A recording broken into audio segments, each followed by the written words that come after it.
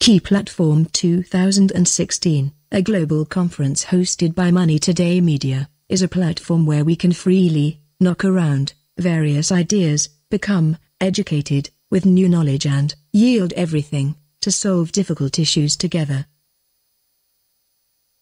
We shall begin the conference with a welcome speech from Mr. Park, CEO of Money Today.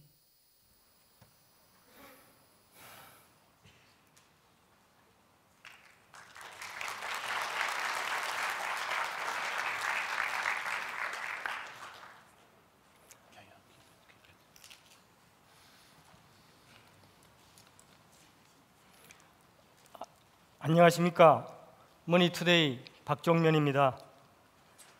어, 이런 시간에 저희 머니투데이 키 플랫폼 행사에 참석해 주신 여러분들께 먼저 감사의 말씀을 드립니다. 대한민국 경제의 앞으로 10년은 다시 글로벌화에 달려 있다고 생각합니다. 세계 6위 수출 대국 5대양 6대주에 진출하지 않을 지역이 없을 정도로 한국인은 세계 곳곳에 퍼져 있는데 다시 글로벌화라고 하니 의아하게 들릴지도 모르겠습니다. 하지만 우리 현실을 보면 이해가 충분히 될 것입니다. 연초부터 무역대국 대한민국의 수출이 감소하고 있습니다. 우리의 최대 수출국인 중국과 중동 산유국은 물론이고 EU 등 주요 선진국의 수요마저 급속히 위축되고 있습니다. 물론 수출 감소 추세를 이겨내려면 내수 활성화가 필요합니다. 내수로 만들어지는 부가가치와 일자리 증대로 수출 감소세를 상쇄할 수도 있습니다. 하지만 2016년 현재 대한민국의 내수는 아무리 짜내도 한계가 있습니다. 경제 활동 인구가 점점 줄어드는 데다 미래에 대한 불안감이 너도 나도 지갑을 닫게 만들고 있습니다. 그렇다고 실질 소득이 크게 느는 것도 아닙니다. 그렇다면 결국 좋든 싫든 과거에도 그랬듯이 미래에도 한국 경제는 해외에서 승부할 수밖에 없다고 봅니다. 그러면 글로벌 시장이 예전과는 많이 다릅니다. 연초부터 4차 산업혁명을 이야기합니다. 지난달 우리를 충격으로 몰아넣은 알파고와 이세돌 구단의 대국, 인공지능이 만들인, 만들어내는 초연결 시대 만물지능의 혁명이 세계 산업 구조를 뒤바꾸고 있습니다.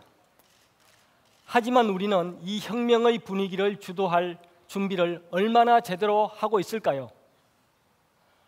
솔직히 저희 머니투데이 기자들이 만난 해외 전문가들은 한국 경제의 글로벌 경쟁력에 대해 그다지 긍정적이지 않았습니다. 전문가들의 눈에는 대한민국 초인류 기업조차 그저 수출하는 기업이지 전 세계를 상대로 소통하고 활동하는 글로벌 기업은 아니라고 생각하는 것으로 드러났습니다. 그들은 그 이유를 다음과 같이 말하고 있습니다.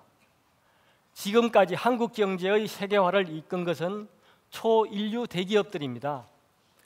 그런데 한국의 기업들이 글로벌 시장에서 보여주는 전략적 유연성과 실행의 역동성, 기동성이 떨어지고 있다고 진단을 합니다.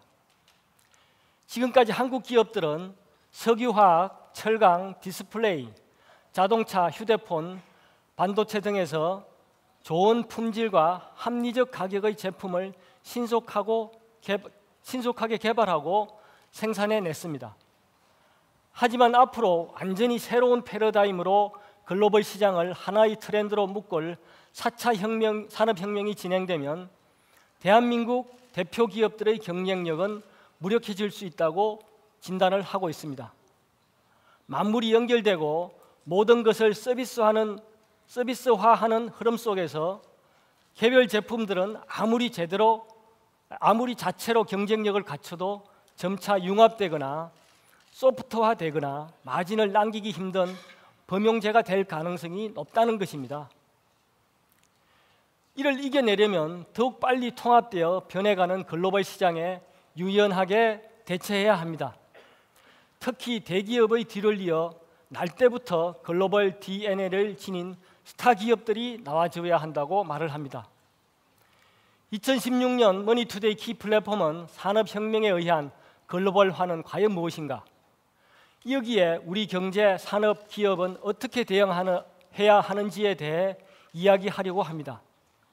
바로 지금 총회에서부터 그 이야기를 한번 풀어보겠습니다. 우리의 미래를 위해 함께 고민하는 시간이 되기를 희망합니다. 이제 키 플레, 머니투데이 키 플랫폼의 간판 앵커 마이클 트램시를 모시겠습니다. 박수로 환영해 주십시오.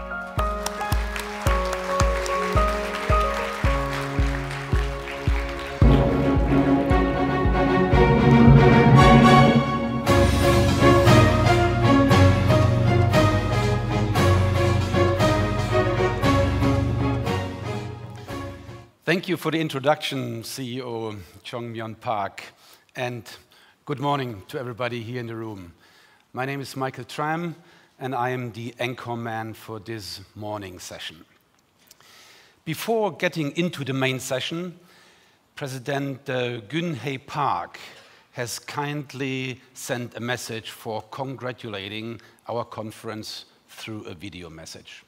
Let us listen to her message. 글로벌 컨퍼런스 2016 키 플랫폼 개막을 진심으로 축하합니다.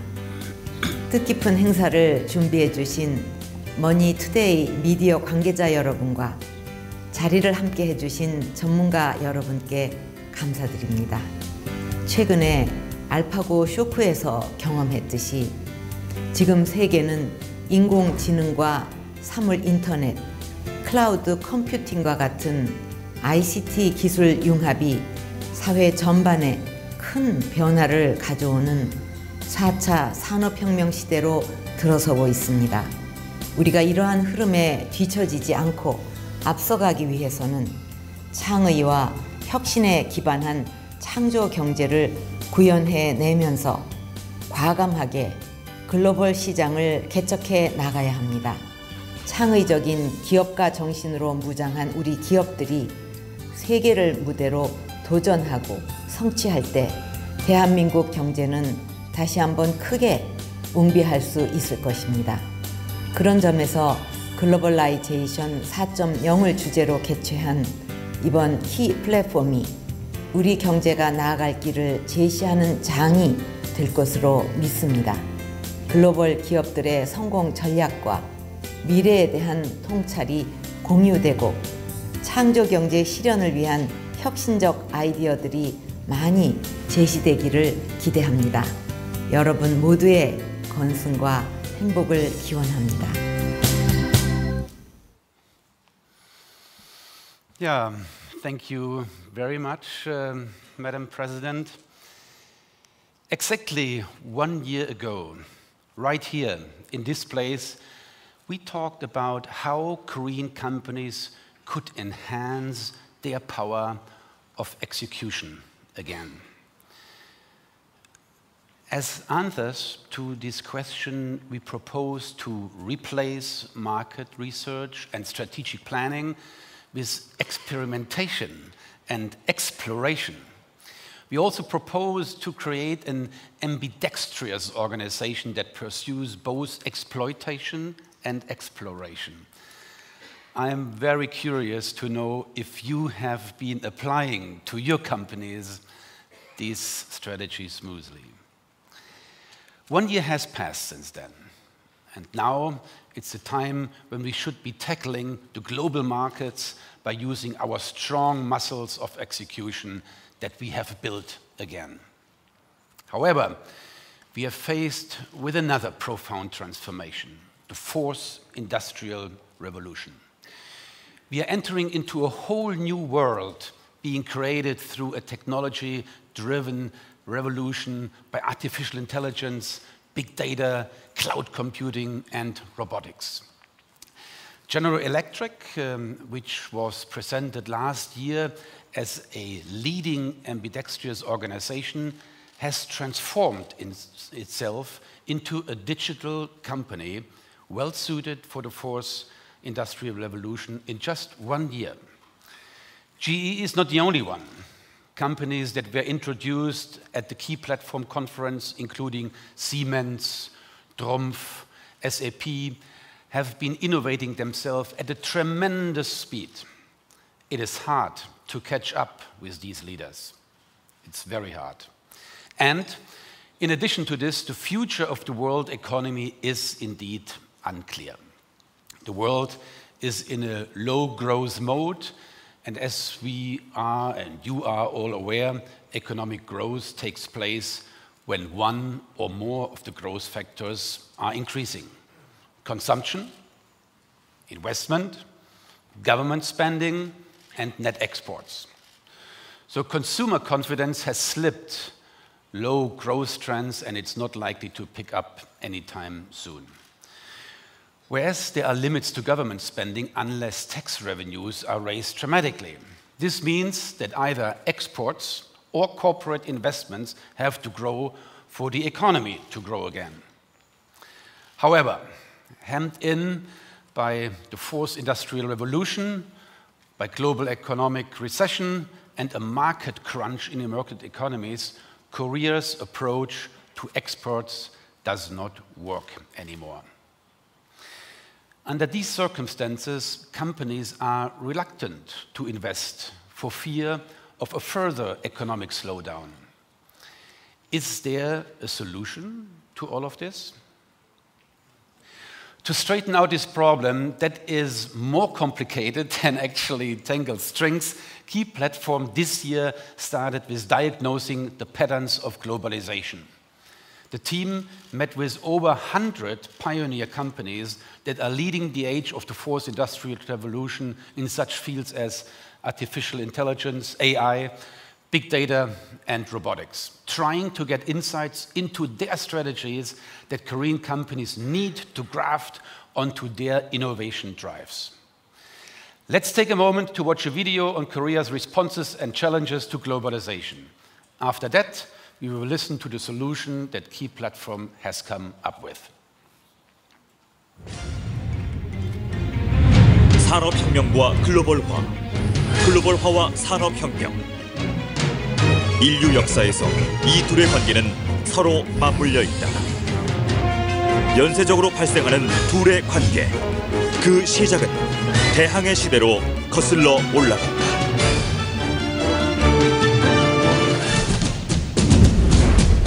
15세기 후반 유럽인들은 새로운 대륙을 찾아 나섰다. 그들은 상업 자본주의를 통해 최초로 지구촌 경제를 연결했다. 그렇게 만들어진 인류 최초의 글로벌 시장. 이것이 글로벌화 1.0이다. 그리고 글로벌화 1.0은 1차 산업혁명을 촉발시켰다. 그 당시 산업혁명은 영국에서 시작됐다. 면제품 수요에 비해 생산 능력이 부족했던 방직 공장. 그때부터 생산 시설의 기계화가 이루어졌고 증기기관이 발명되면서 공장의 기계화는 더욱 가속화됐다. 산업의 공업화가 시작된 것이다. 대량 생산된 제품을 소비할 곳이 필요한 유럽 국가들은 식민지의 경제와 사회를 통제하기 시작했다. 이를 통해 경제 영토 간 통합을 이루려 한 것. 이것이 글로벌화 2.0이다. 식민지의 효율적인 관리를 위해 도로와 철도가 건설되고 통신이 발달했다. 그리고 2차 산업혁명을 촉발시킨 전기가 발견됐다.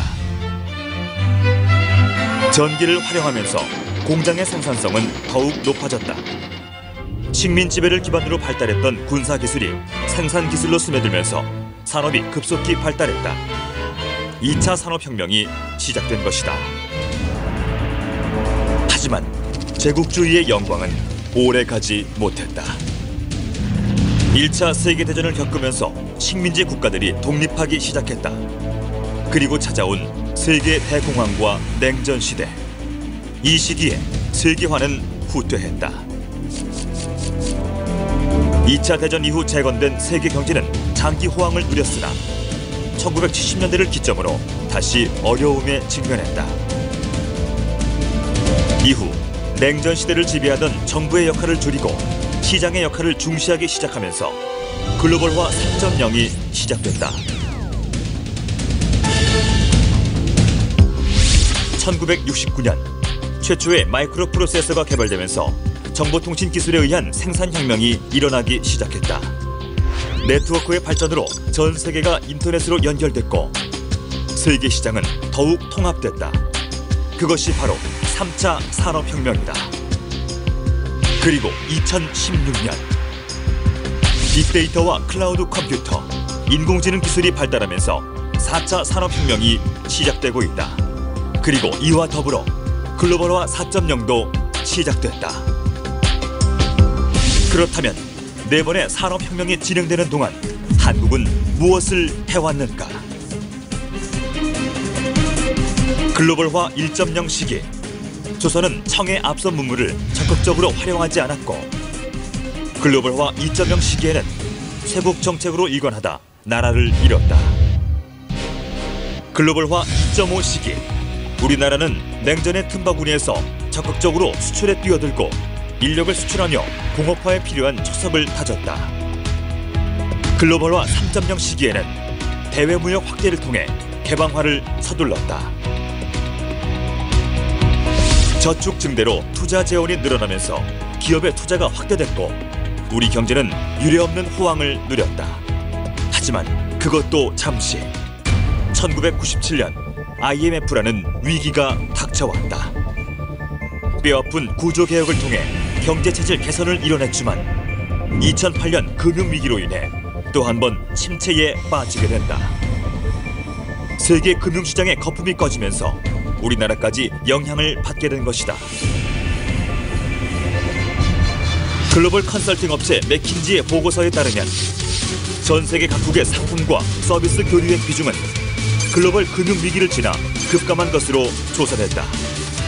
반면 전 세계 디지털 정보 유출임은 해마다 증가하고 있다. 이제 전통적 교육의 의미가 바뀌고 있다. 글로벌화 4.0 시대는 얼마나 많은 데이터를 확보하고 쓸모있게 만들어 교육하느냐가 중요하다. 글로벌화 4.0 시대. 지금 우리는 무엇을 해야 하는가?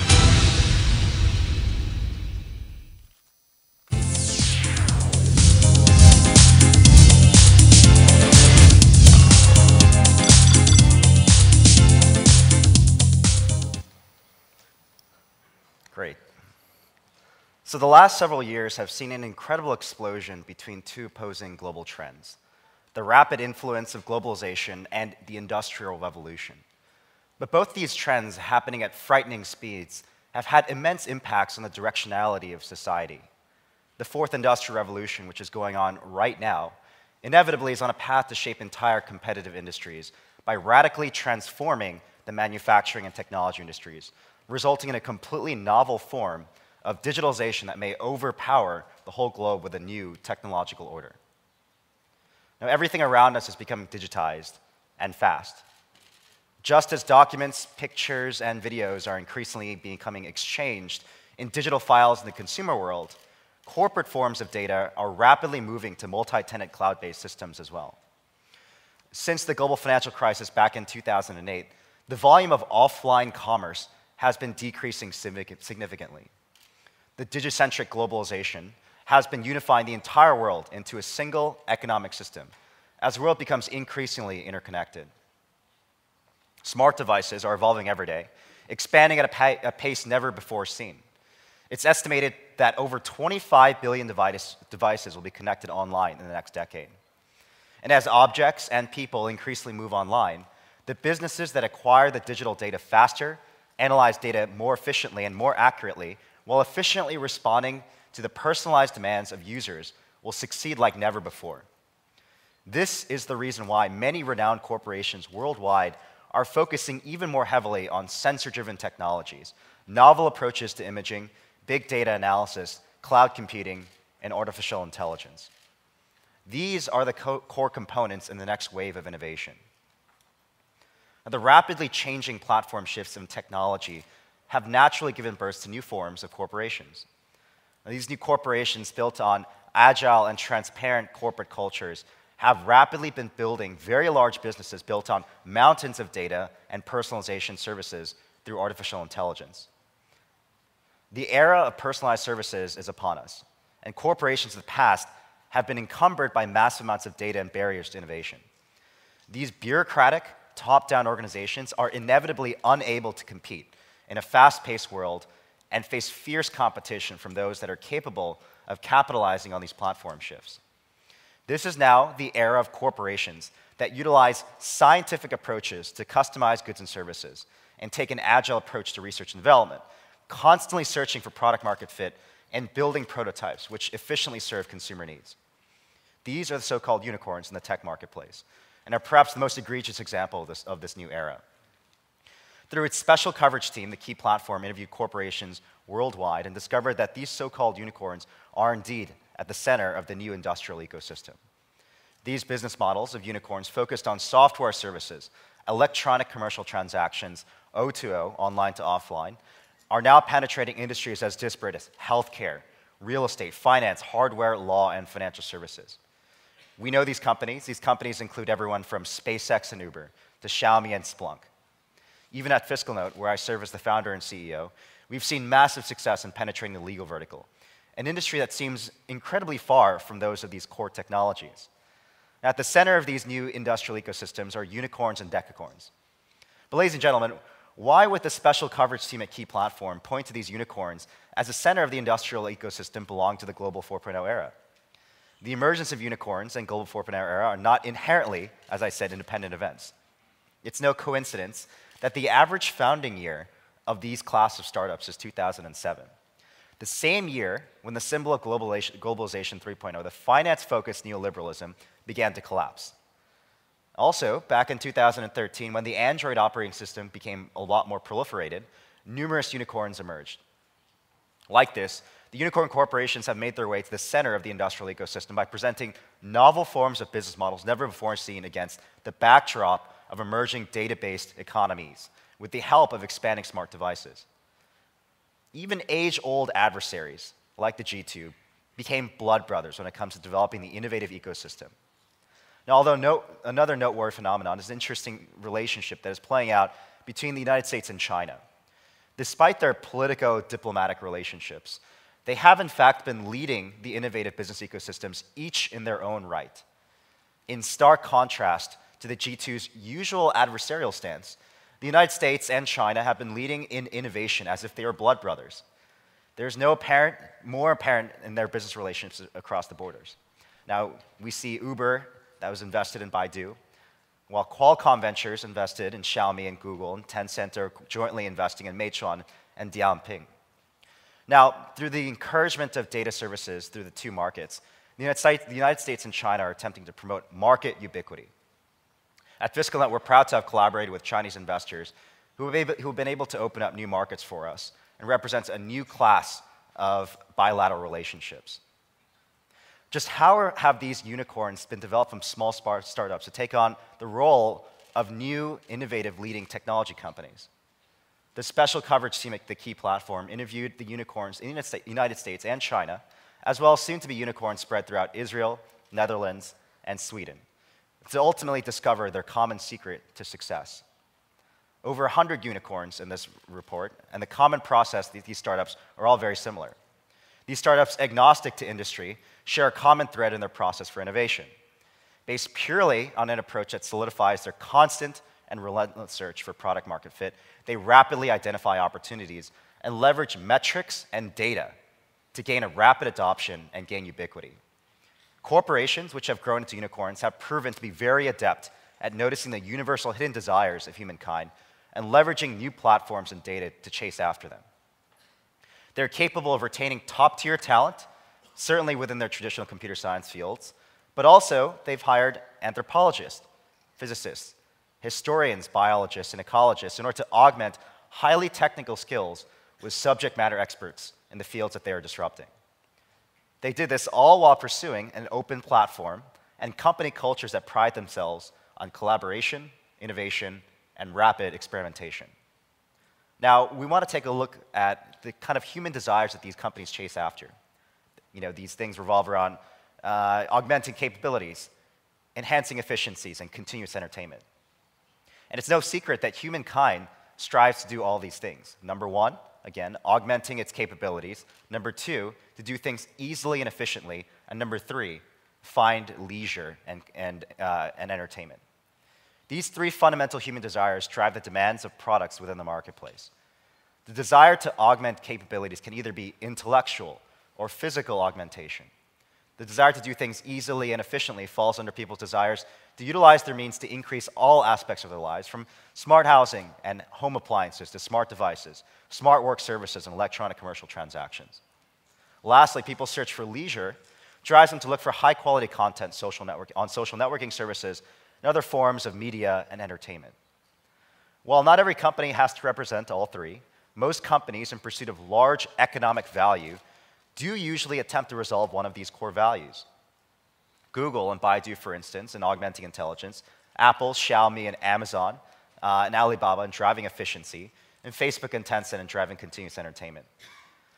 As with the case of many of today's largest tech companies, most fall within this framework. Google and Baidu, for instance, were capable of augmenting intelligence for the world through their powerful, powerful search engines. Apple, Xiaomi, Amazon, and Alibaba, each in their own way, created massive efficiencies in illiquid markets or communication.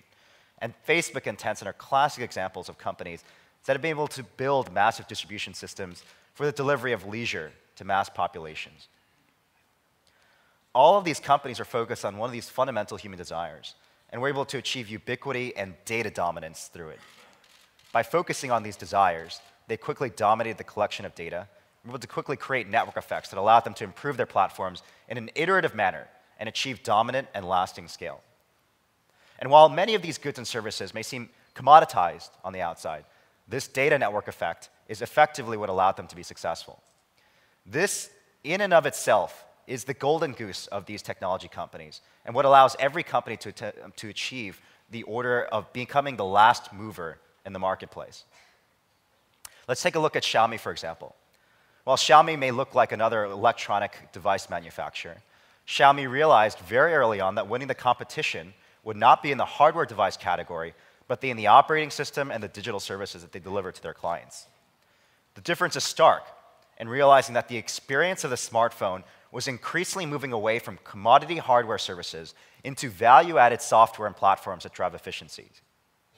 This is certainly also the case with the BATs of China, Baidu, Alibaba, and Tencent, as they continue to grow their influence through a variety of acquisitions and joint ventures.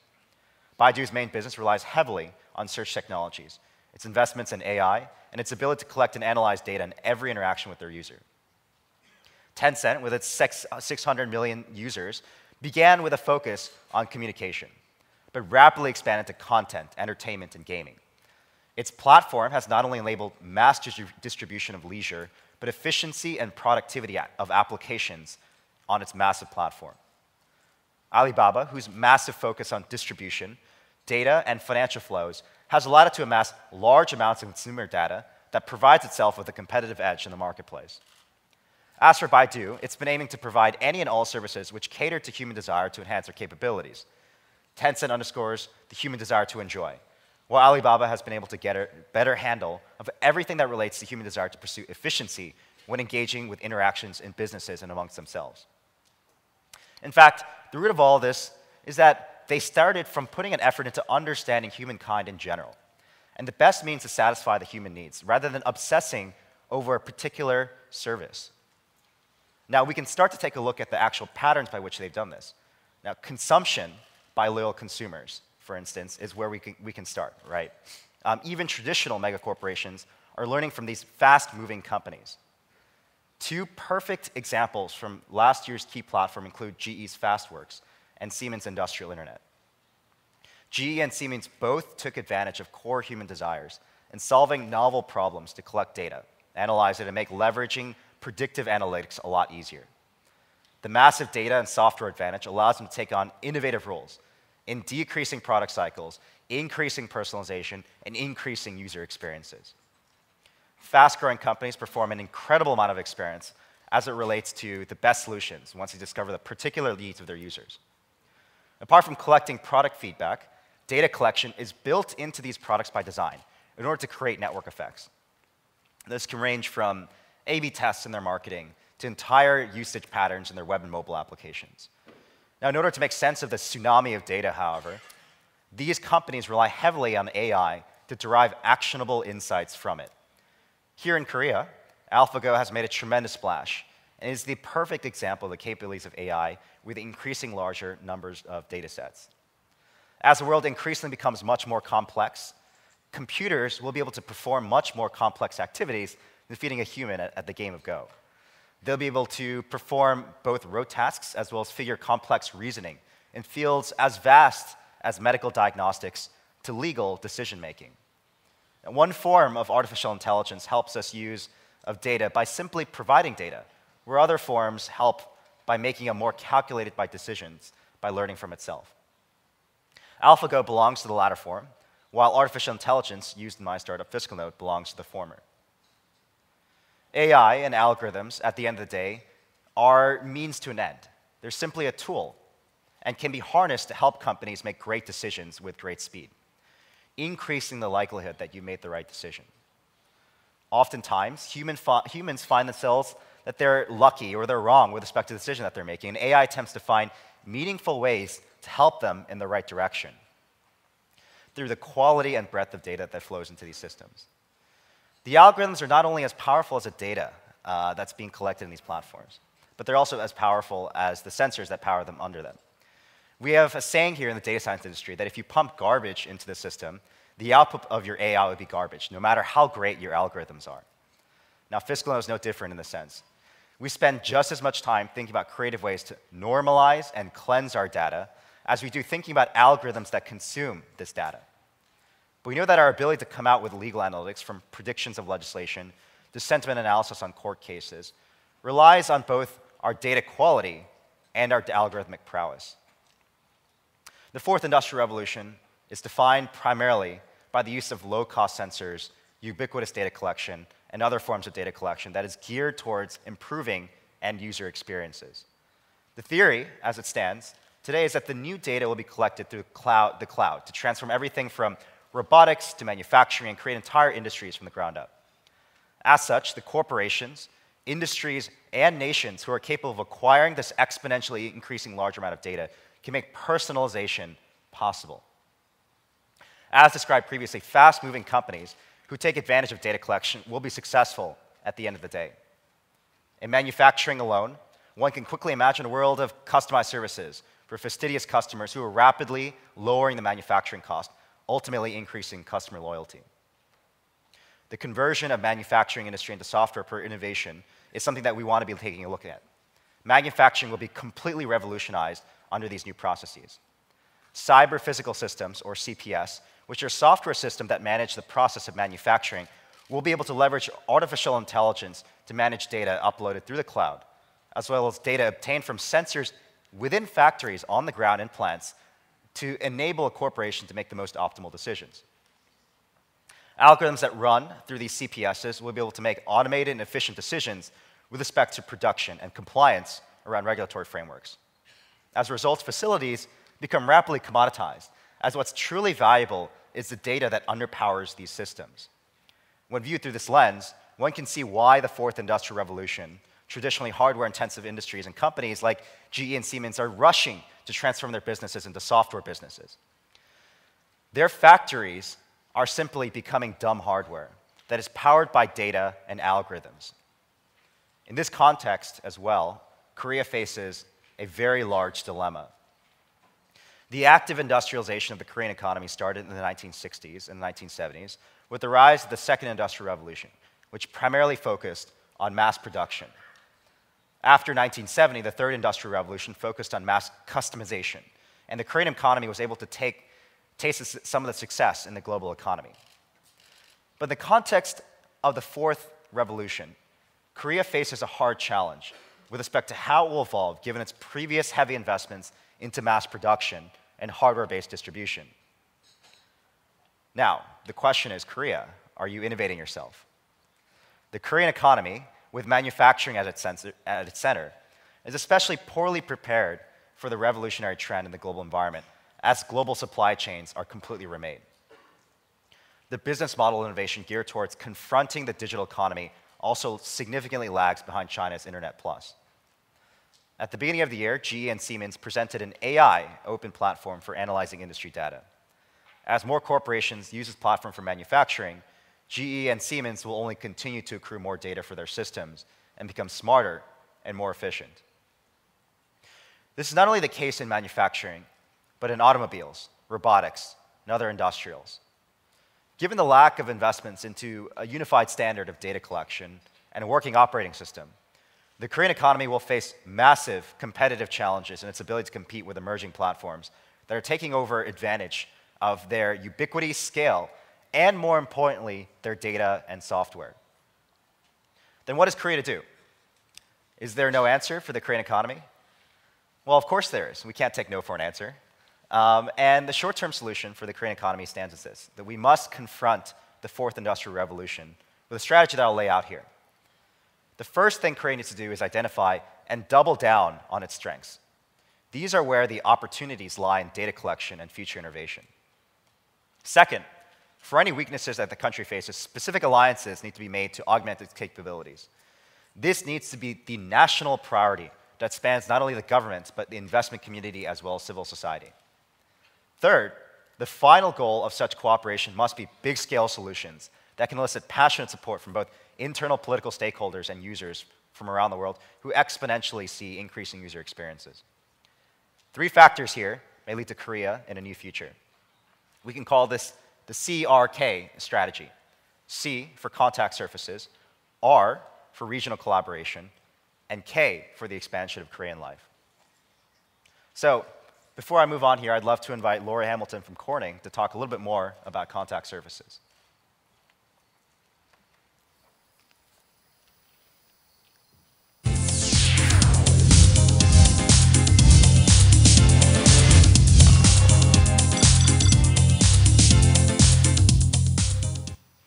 Thank you, Tim. In the era of globalization 4.0, everything should be communicable. In other words, touch devices comprise display, sensor, information processing chips, embedded software, OS. The Korean manufacturing industry can sharpen its competitiveness in display, information processing chipsets, and semiconductor, which are the basis of those two, and also in developing sensors. Communication, a link between people.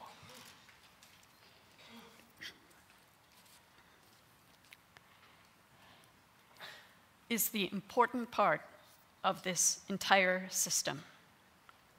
So let's imagine something interesting.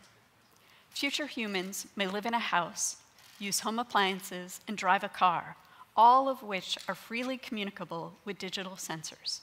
Everything in the entire city smart home, home appliances, cars, and offices will be interconnected and work together, opening truly a smart city the invisible element essential to the communication and the connection of this entire surrounding is communication.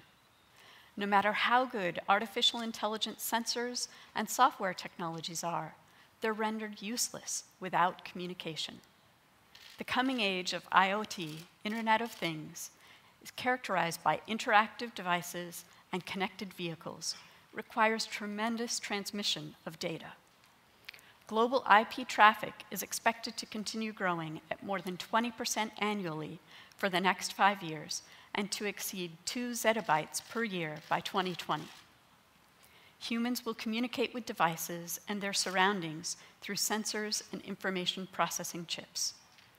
Software will help communication, while OS and artificial intelligence will understand humans and make the communication more efficient intricate networks of optical fibers, wireless communication technologies, and connectivity solutions will open the age of globalization 4.0, where all things are interconnected and always on. The moment of contact is more important than ever. people will come into contact with the digital environment through displays. Ordinary surfaces that we encounter every day, such as conference tables and walls, bus shelters, and home appliances like refrigerators and TVs, will transform into extraordinary surfaces. Various interactive surfaces equipped with high performance display glass, which dissolve the real and virtual worlds, will enrich our lives and make them more convenient.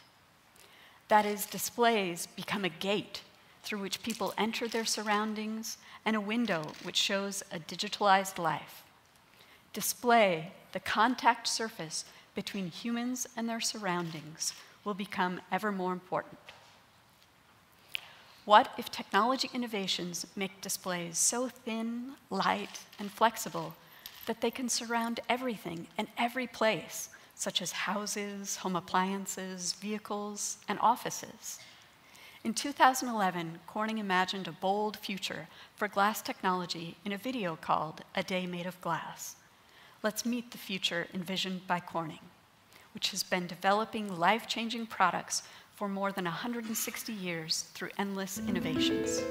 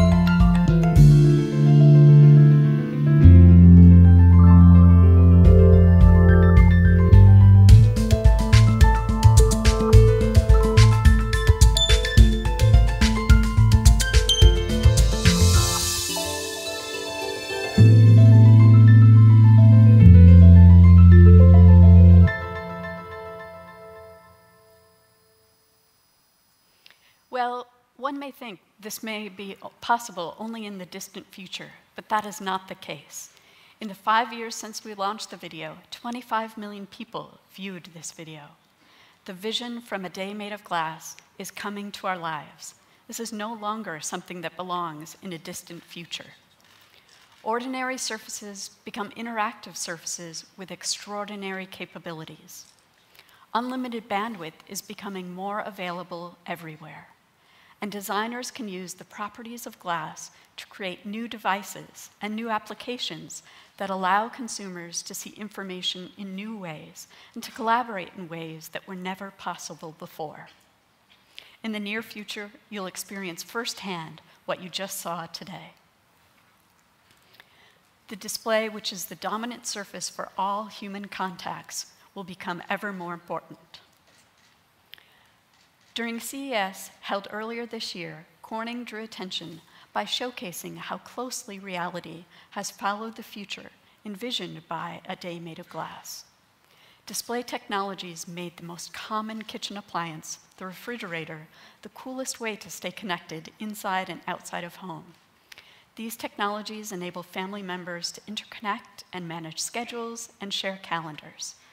The connectivity of specialty glass enables the fridge to let you know what's inside and what's running low.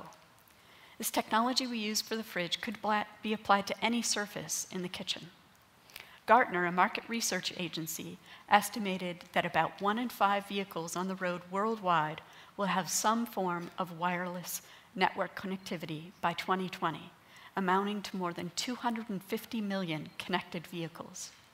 And glass in a car today is a material that matters as much as steel, aluminum, or chrome. Glass enables you to have the same access, touch, visual, and control experience in a car that you are used to with your smartphone. The connected vehicles can improve fuel economy, driving experience, as well as safety, thanks to the application of various glass technologies. According to a market research company, more than 10 million US households have already employed smart home systems, and this figure is forecasted to exceed 38 million by 2019. The use of an infotainment wall, a hub of smart home systems, turns the home into a movie theater or a home office. Using this interactive media wall, we can manage room temperatures and lighting, we can check emails and the family calendar, and stream a movie. This technology we use could be applied to any surface in public spaces such as a hotel, museum, or library. Transparent displays will enable a retail window which bridges the gap between online and offline shopping, and customers can use these windows to find the product they want, research prices, access promotions, and sales with the swipe of a finger. With the collaboration table, you can share a document, design, or image with the flick of a finger. All these technologies are made possible with Corning's high-tech glass technologies, optical communication technologies, and connectivity solutions. When this vision is realized, displays will become a contact surface in daily lives which people wear, see, touch, and transport.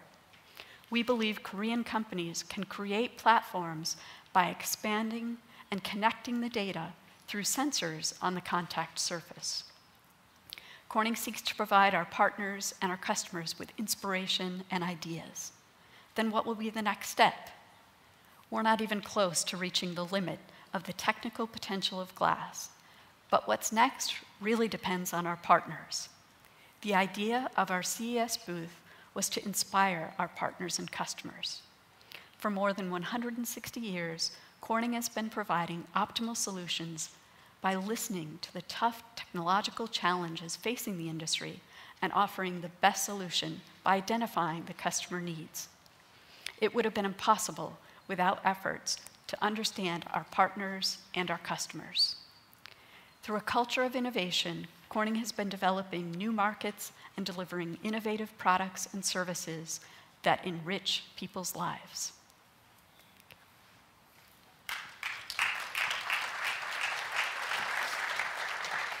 Thank you, Laurie. So let's talk about algorithms. Uh, so algorithms are maps which render the desires and solutions yet to be noticed by humans uh, themselves through a scientific process. Uh, we must make a business by gathering the internet data accumulated in the cloud and calculating the usage data offered by real humans. Um, we should further codify such algorithms and make them into software in order to embed them into such contact surfaces. Even if we're able to realize the connected contact surface program, the capability to realize the software is a necessity. But to Korea's regret, the capability is still very weak as of right now. Korea is weak in its ability to map out an algorithm of the simplest codes by producing the software which operates in the most user friendly manner. In fact, it's almost necessary to develop a know how uh, for engineering ideas which can identify the problem areas amongst the future human desires, as well as to find solutions for solving even other problems. Even if such algorithms exist, Korea is still short on its necessary experience to be able to quickly make that algorithm into a viable software. But there's no need for despair because there are excellent partners for cooperation around Korea, and we can find them in our regional partners in China and India. If Korea pursues a regional collaboration with them in various areas, we can again uh, know even consistently rise to uh, hegemony in, in, in terms of the global economy. No doubt, Korea will need to make significant advancements into an education system that emphasizes these creative approaches and algorithmic thinking. But in the short term, alliances will need to be made to collaborate on these software deficiencies. China and India regionally perhaps provide the most opportunity to mitigate this risk. There is an opportunity for triangular cooperation between China and India. China, the algorithmic expert, and India, the software expert. Now, Korea has always been in a unique geographic position in that it can take advantage of these regional strengths in China and India with respect to algorithms and mass consumers. Let's talk about China, for instance.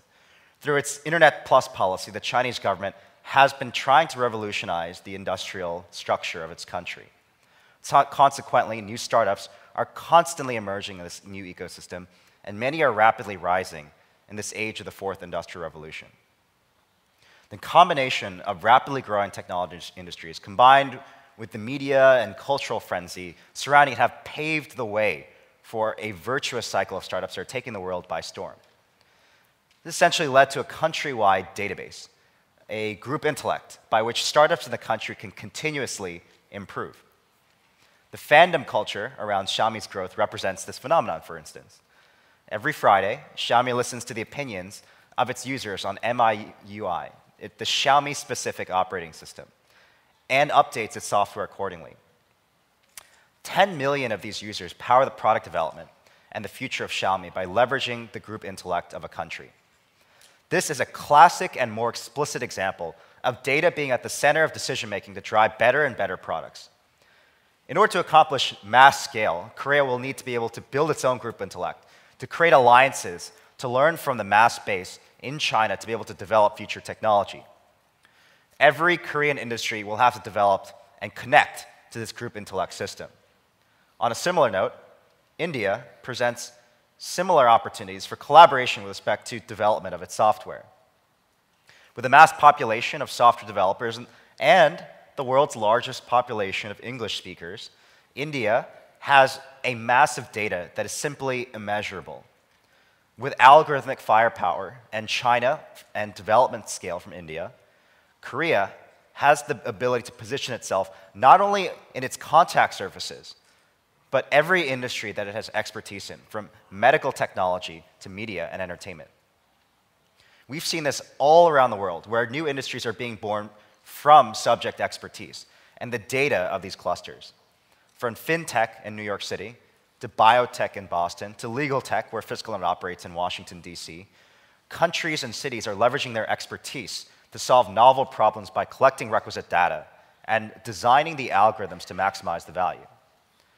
Korea will need to learn from the United States how to apply their strengths into core human and business problems that Korea is uniquely positioned to solve while taking advances, advantage of regional alliances. With this type of trilateral cooperation, even the small to mid sized businesses in Korea may discover new opportunity fields. By utilizing the software services of Indian unicorn companies, we may be able to up our productivity and efficiency from China's Internet Plus policy, we may gain an insight into algorithms that synthesize our traditional businesses into new software industries. In other words, Korean small and medium sized businesses may simply find themselves riding the waves of these massive, massive opportunities. Now, let's take a look at uh, how we're going to achieve this. To achieve this, a regional cooperation is required. Um, and even within Korea, an open-ended cooperation among big corporations, mid-sized companies, and startups is an absolute must. For instance, we have to ask the big brother in the Korean industry, Samsung Electronics, to share their technologies received through the recent acquisition of AI and its, co its collaboration into an open platform. If Samsung, for instance, were to accept this suggestion, it would vastly shorten the time and expenses that startups and mid-sized companies would have to incur on the R&D side. Hyundai Motors would also be able to apply a diverse open source based hardware and software of startup companies to its auto driving sedans and future cars. If so, Korean's future auto industry ecosystem would develop at a significantly faster pace. Now, one of the largest strengths, undoubtedly, within Korea's toolkit is its tremendous soft power with respect to the Hallyu Korean wave. Now, consumers around the Asian region remain excited about all aspects of Korean lifestyle, ranging from K pop, K drama, K beauty, and etc.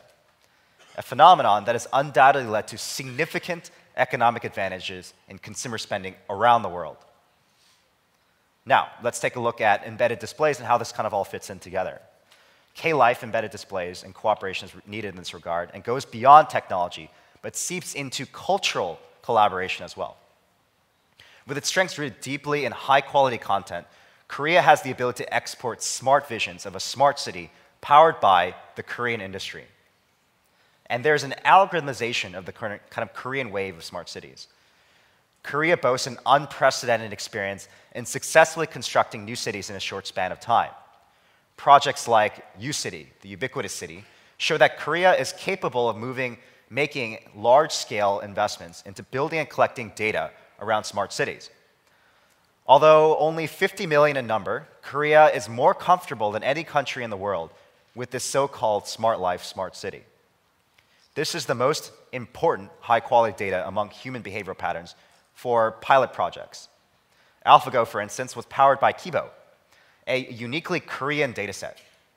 Unfortunately, it took a British company by the name of DeepMind to power the algorithms to make this technology a success.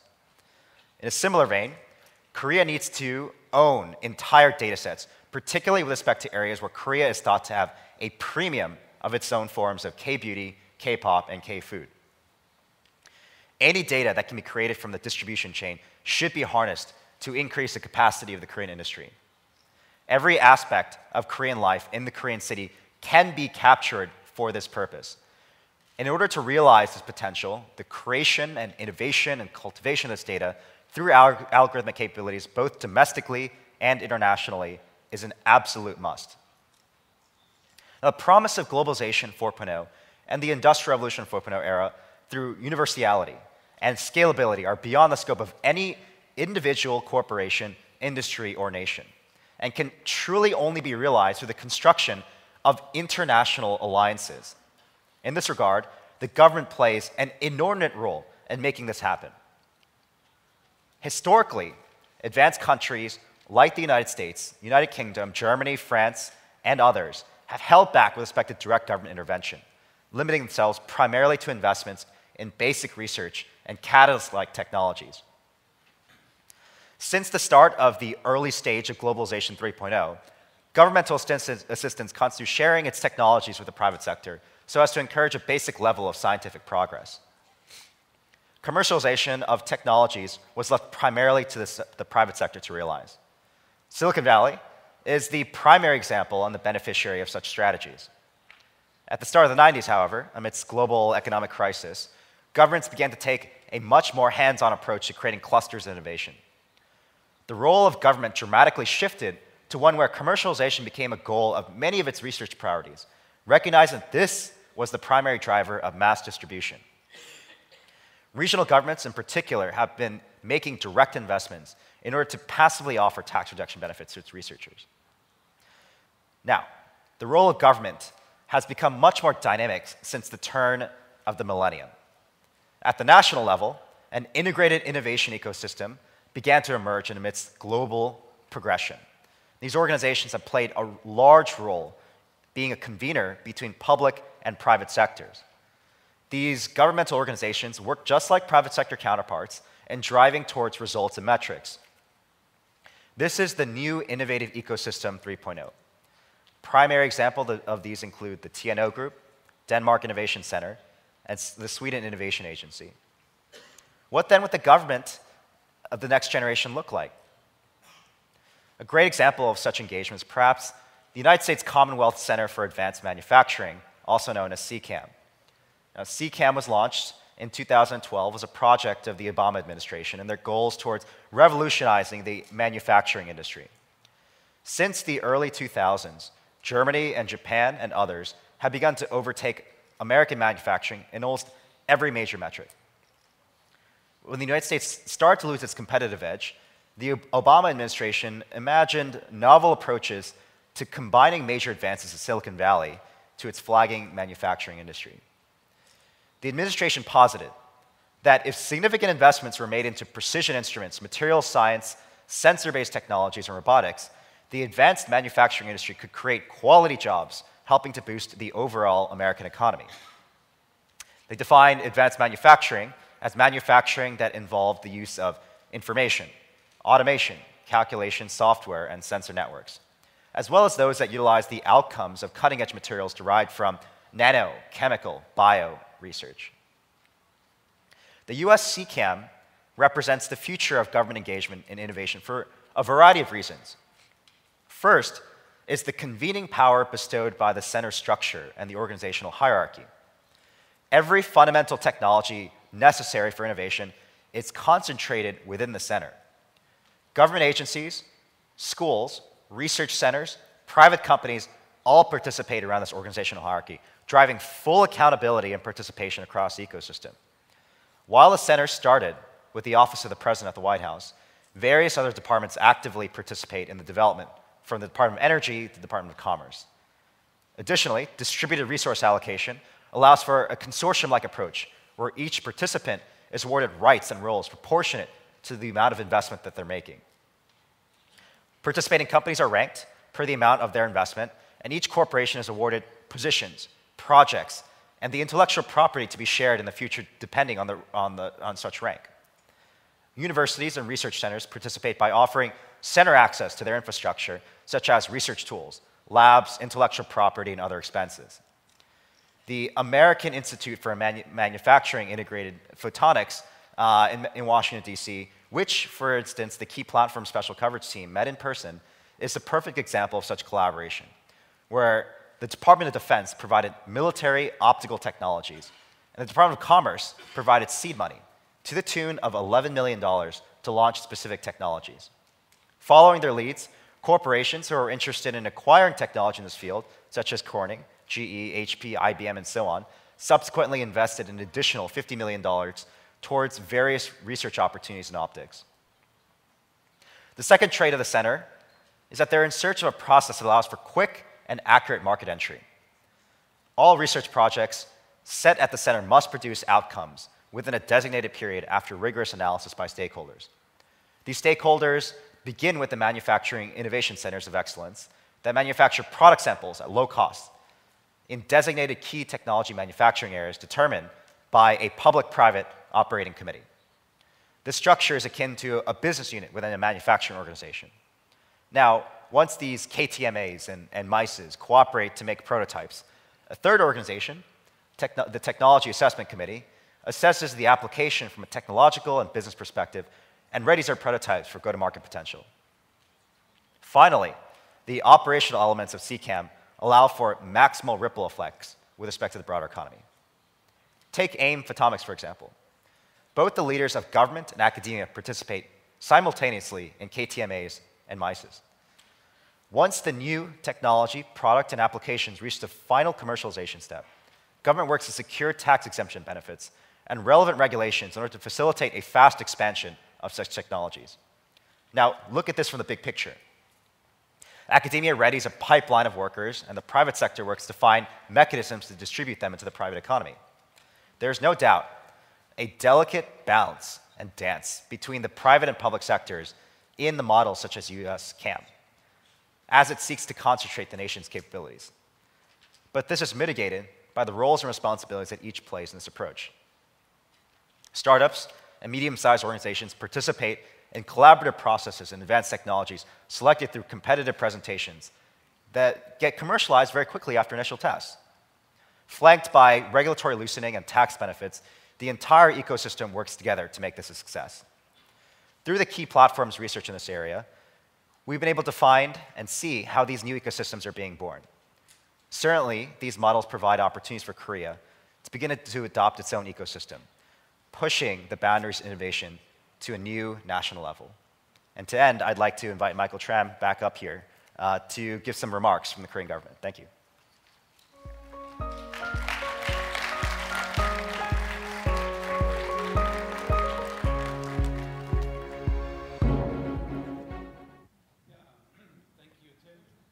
Thank you, Laurie, for your passionate presentations. Um, I enjoyed it a lot. Now, ladies and gentlemen, um, what do you think of the analysis and imagination suggested by the key platform special coverage team? I've been the anchorman for this key platform since its first round, and I'm also a consultant with a great affection for the Korean economy. For this reason, I would like to wrap up this presentation by offering you some ideas regarding just how to promote the innovative ecosystem 4.0 in Korea. You heard the US Commonwealth Center for Advanced Manufacturing, CCAM, just introduced a new model which was only there for four years. Notwithstanding its excellent design and structure, it is more important how it is operated from now on. The Korean version of this is the Korean Creative Economy Innovation Center, CEIC. I propose that Korea CEIC develop into the regional innovation control tower so they manage and perform global projects. The nationwide 18 CEICs are already making their best effort in order to support the creation and growth of startups as well as their advance into the global market. But we hope that these CEICs would take over the even more evolved role of a domestic control tower in order to lead the transformation and operation of a regional innovative ecosystem and also the role of an international control tower in order to lead the industrial revolution and cooperation with China and India. We suggest that the US Commonwealth Center for Advanced Manufacturing, CCAM, should be evaluated or even copied so to enable the CEICs in Korea to manage the projects which can help develop the technologies for pioneering the big markets through the help of the regional universities, R&D centers, and of course also in-house R&D centers of the big corporations.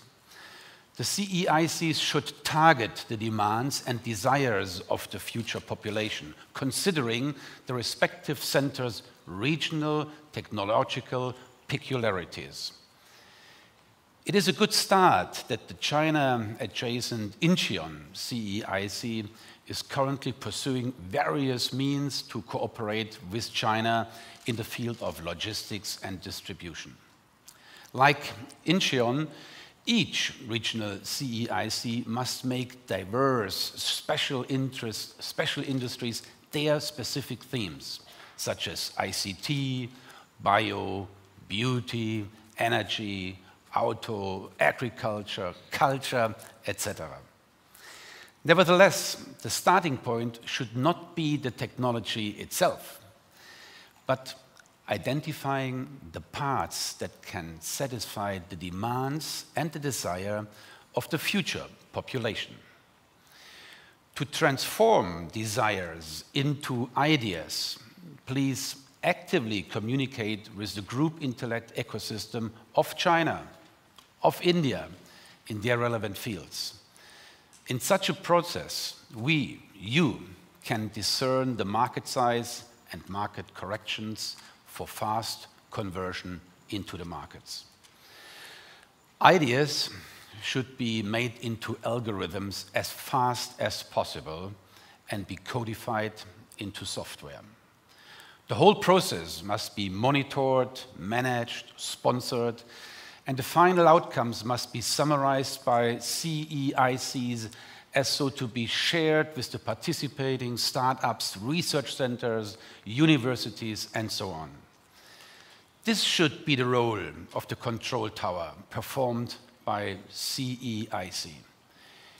In order to prepare and to position the CEICs to serve as the growth engine, the big Korean corporations must participate actively in these efforts. We ask, therefore, the big Korean corporations to establish an open and innovative pipeline for connecting CEICs to their in-house R&D. The innovative ecosystem can start a virtuous cycle when the big corporations tackle the major business innovations and new markets through their R&D infrastructure, implicit knowledge and the ideas collected from Korea, China and India, and when the startups obtain reliable partners. For this, the corporations must break down the walls and open themselves up for the new platform. Korea, China, and India, they can make it. And if necessary, in order to lead the globalization 4.0, you can cooperate with the advanced technologies and the advanced countries such as Netherlands, Sweden, Denmark, my home country, Germany, just like Korea. And they are eager to tackle the global markets. The government must move smartly in order to sustain the CEICs.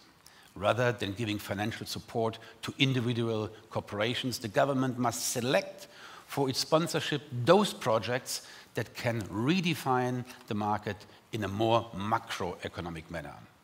Also, Korea must move actively.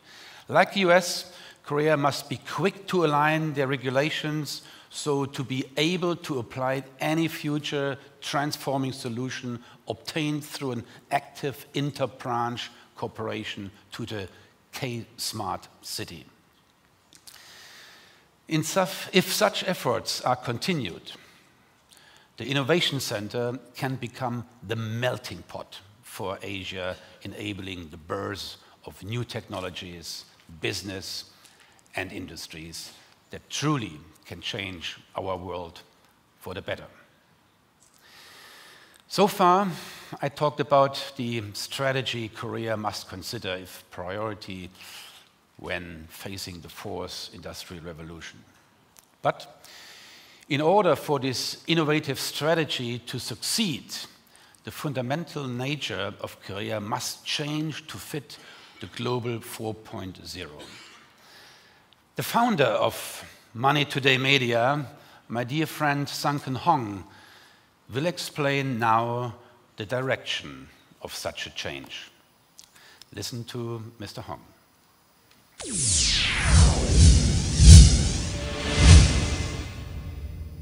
어떻습니까, 여러분? 먼 미래로만 생각했던 것들이 바로 우리 앞에 와 있습니다. 조금 전 발표에서 보셨던 우리의 전략이 미래에도 경쟁력을 유지하려면 사실 조금 더 근본적인 고민이 필요합니다. 우선 첫 번째로 우리 경제의 핵심인 기업들이 시장에 대한 인식부터 바꿔야 합니다. 창업할 때부터 글로벌 마켓을 대상으로 비즈니스 모델을 만들어야 합니다. 비단 수출 기업이 아니더라도 태생적으로 글로벌 소비자들을 대상으로 비즈니스를 한다는 인식을 가져야 합니다. 즉, 본 글로벌 기업이 돼야만 합니다. 글로벌화 4.0의 교두보는 리전 마켓을 구축함으로써 마련할 수 있다고 봅니다. 우선 글로벌의 양대 축 중의 한 곳이자 문화적, 지역적으로도 동질성이 있는 중국. 근래 들어 우리와 마찬가지로 뛰어난 IT 역량을 토대로 경제 성장을 일군 인도. 그리고 새롭게 부상하고 있는 거대 시장 아세안이 우리의 리전 마켓입니다. 중국, 인도를 지렛대로 아세안 시장에서 터전을 구축해야 합니다. 두 번째, 태생적인 글로벌화는 언어와 일상으로부터 가능합니다. 저는 그래서 영어와 중국어의 준 공용화를 제안합니다. 여기에 하나 덧붙이자면 디지털 시대의 언어인 코딩 역시 내추럴본 우리의 언어가 되어야 합니다. 언어든 코딩이든 어렸을 때부터 자유롭게 놀듯이 체득해야 그것이 진정한 보온이 될 수 있습니다. Yeah, thank you, Mr. Hong, for your presentation. You have pointed out um, what must uh, be done to prepare for the fourth industrial revolution, globalization 4.0, 4.0. Yet, in addition to the paradigm shifts and the languages among companies that have been addressed, I think uh, we should not forget about um, artificial intelligence, AI. Mr. Hong, what are your views on the outlook of the age of artificial intelligence and how do you think we should respond? But I have also another thing that I would add and like to know. I think that the answers to all of those things we discuss here today should be backed a little bit more by the topic of diversity. I'm very curious about what you think, Mr. Hong. what we can do to secure these topics like diversity. 인공지능이 아무리 발달해도 대체하기 어려운 인간 고유의 영역은 남습니다. 바로 우리 인류의 보편적인 생각을 담아 새로운 가치를 창출해내는 영역입니다. 이건 교육을 통해 만들어집니다. 인간만이 할 수 있는 새로운 문제 제기, 감성 기반의 복잡한 커뮤니케이션을 인공지능과의 연계선상에서 수행하는 능력을 길러야 합니다. 그 중심엔 인문과 기술이 하나로 융합된 교육이 있어야 합니다. 끝으로 글로벌화 4.0에서 경쟁력을 갖출 근본 토양은 문화적 다양성임을 인식해야 합니다. 그 핵심엔 열린 이민 정책이 있어야 합니다. 미국 실리콘밸리가 그 해답을 이미 제시하고 있습니다. 세계의 인재들이 실리콘밸리에 모이는 건 그만큼 다양성을 인정하기 때문입니다. 피부색이 아니라 오직 실력을 보는 문화. 그것이 세상에 없던 것을 개발하는 세계 유일의 지역을 만든 것입니다. 미래는 결국 우리에게 달렸습니다. 창의적 혁신의 답도 우리에게 있습니다. 우리가 어떤 선택을 하느냐에 따라 생존 여부가 결정됩니다. 밝은 미래와 어두운 미래로 가는 갈림길에 지금 우리가 서 있습니다.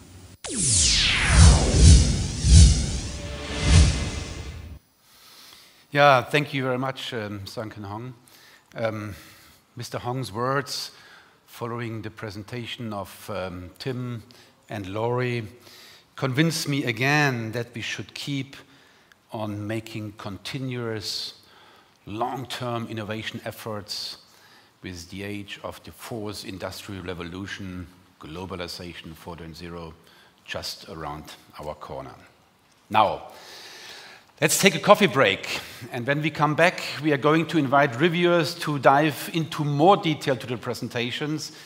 Then there will also be a special lecture and breakout session in which we will be presented with plans for fostering Korean style unicorns. Please don't miss them.